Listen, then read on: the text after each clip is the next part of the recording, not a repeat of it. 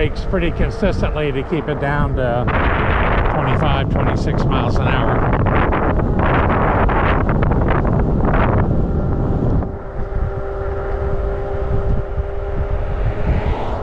That's how you know it's a hill.